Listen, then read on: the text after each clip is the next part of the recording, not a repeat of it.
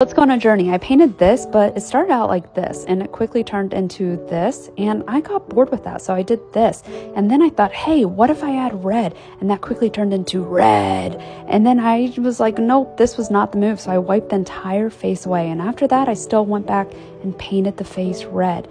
That was fine. But then the next day it looked like this. And I was like, oh no. So I had to revive it. So I did this to that and it made it look like that, which was cool. But then after all of that, I still repainted the face in red. I didn't like it. But this one, this one, I liked. It just needed an eye. So I went in and I painted an eye. And honestly, at this point, I was thinking the face was looking pretty good.